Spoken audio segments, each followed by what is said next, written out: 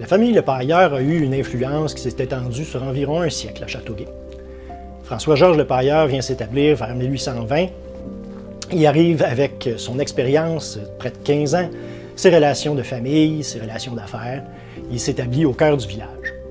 Très tôt, il va prendre des charges civiles ou paroissiales, va s'impliquer aussi au niveau du syndic des écoles.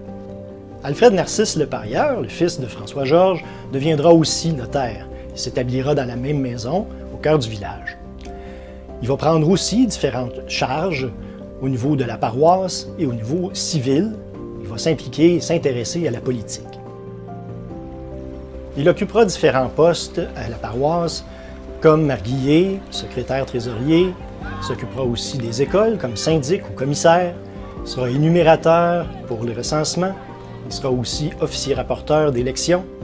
Bref, son influence, comme on peut le voir, elle est vaste parce que les tâches qu'il accomplit sont aussi vastes. L'influence d'Alfred Narcisse dépasse aussi ses tâches.